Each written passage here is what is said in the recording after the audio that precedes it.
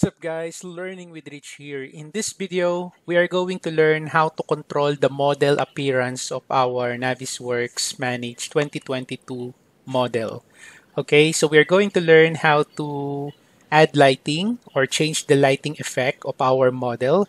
And then we are also going to learn how to change the render mode or the visual style of our model and change the background as well.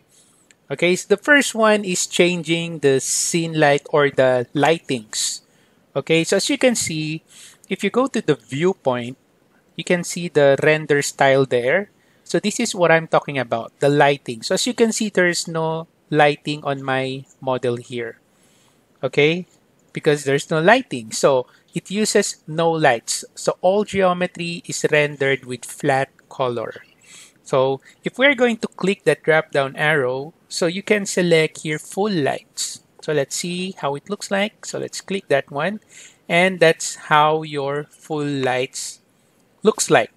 Okay, so what is this full lights? So this full light mode, it uses lights that have been defined with the Autodesk rendering tool.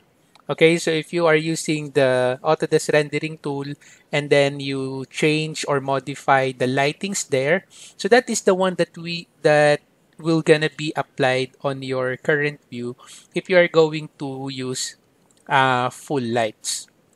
Okay, by the way, if you go to the render tab and then you can select there the one that I'm talking about, the auto, uh, Autodesk rendering, or you can press Control F4.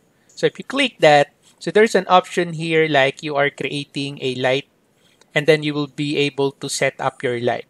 Okay, so once you set up the light, if you go to the viewpoint and then you select here the full lights, so that is the type of light that will gonna be applied here on your model. Okay, so the other one here is scene lights. So as you can see, there's not much difference. So what is this uh, scene lights? So this uh, scene lights mode uses the lights that have been brought through from the native CAD file. So let's say, for example, so this model has been uh, brought from Revit model. So in Revit model, there is already a scene light that is already applied in this model. So once you brought that model here in Naviswork, that is the type of the lightings that you will be getting if you select scene lights. And if there is no lights available, so two default opposing lights are used instead. And you can also customize the intensity of the scene lights using our file options. File options, where's that? Just right click at the blank space and then you can now see there your file options. The shortcut is Shift F11. So you can click that one and then you can check now here the scene lights. So as you can see, you can change there the intensity of the scene lights here. So you can change that, right? So you can change the intensity of that one. Okay, so let me just select cancel here. Now the next option here is headlight. Okay, so let me select the headlight here. And there you go. So what is this headlight? So this mode uses a single directional light located at the camera that always points in the same direction as the camera. Just like in our case here, so our camera is here. Okay, so this is the location of our headlight. So if we change our view here, so that is the lighting. So if I select scene lights here again, and then I select here headlight, so as you can see, there's the changes. So again, so this uh, headlight uses a single directional light located at the camera that always points to the same direction as the camera. And you can customize the headlight properties in the file options again. Alright, so you just explore the file options. Again, just right click and then select file options. Okay, so there is the headlight that I'm talking about. So you can modify that one. Okay, go, right? All right, so let me just cancel this one. And then the last option, of course, is no light. So there's no light here. So uses no lights. So all geometry is rendered with flat color. Okay, so now I do not like the no lights. I just want the scene lights here. Okay, so scene lights for me is good enough. Okay, so basically that's how you change the lighting effect of your model. Now the next one is changing the render mode of your model. Okay, so render mode is this one here. Okay, so rendering shades the scene's geometry using uh, using the lighting that we have set up, and then the materials and environment settings that you have applied.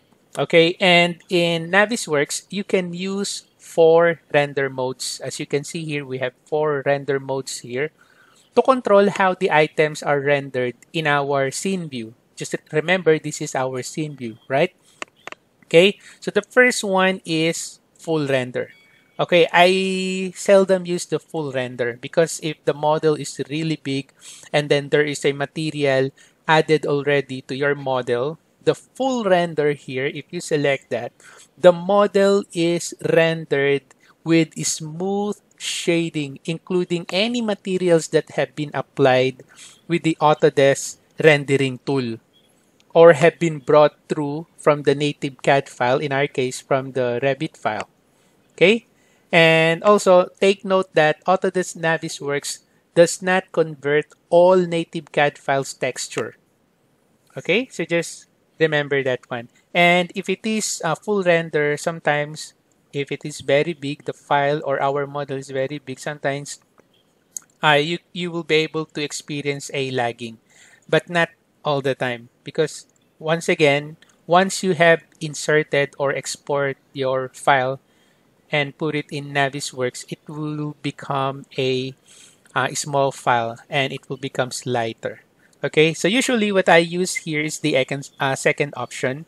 If I do not want to see the material that is applied to the model, I just want to do plainly coordination without any visualization. So usually I just change that to shaded.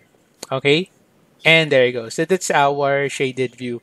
So in shaded mode, the model is rendered with smooth shading but without textures. Okay, so most of the time, this is the type of render mode that I am using, the shaded view. Okay, and then the third one here is wireframe. Okay, so there's the wireframe. You can click that. So in wireframe mode, the model is rendered in wireframe. So as Autodesk Navisworks uses uh, triangles to represent surfaces and solids, all triangles edges are visible in this mode. Okay so you can see there all the elements. It's like uh, x-ray.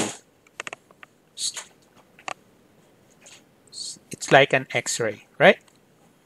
Okay now the last one here is hidden line okay? So let's see that one hidden line. So let's click that. Okay so hidden line. So in this mode the model is rendered in wireframe, but only the outline and facet edges of the surfaces that are visible to the camera are displayed. Okay? Unlike the wireframe mode, where surfaces are rendered transparent, hidden line mode renders surfaces opaque. Right? Just that's why you will notice it's not X-ray vision like your uh, wireframe view just like that. So that's your uh, hidden line. Okay, so basically that's how you edit the model appearance using the render mode tools. Now the last one is how to change the background effect. Okay, the background effect. So let me just change this back to scene lights and shaded view. All right. Okay, so let's learn how to change the background. As you can see, I already have a background here. Half, half. It's, it's the horizontal. Okay, so it's a horizontal background. So how to change that? So all you have to do is to right click at the blank space and then you can see there the background. Okay, so select that one. And then as you can see, the current mode that I have is horizon. Okay, so that's the one. So the background of the 3D scene, you will notice here is split across the horizontal plane, giving the effect of a sky and the ground. So you can change the color here, of course, like for example, the sky or the horizon color or the horizon ground. So you, you just play around. So let's say I'll just select apply. So that's how you do it. Okay. Right. Apply. There you go. So that's your horizon option. Okay. Now the other one, of course, is the plain background. So again, right click, background. Let's change this with a plain background and then just select the color. Of course, I want the black color. So I just select here OK. There you go. So there's my uh, plain background. Okay, so the background of the scene is filled with your selected color. So this is the default background style, by the way. So it can be used for 3D models and 2D sheets. And then the last one is graduated or gradient. So select background. Let's change this to graduated. Click that one, and there you go. So it's a gradient color or graduated color. So just apply that one and then OK. Then there you go. So it's graduated color. So the background of the scene is filled with a smooth gradient between the two selected colors.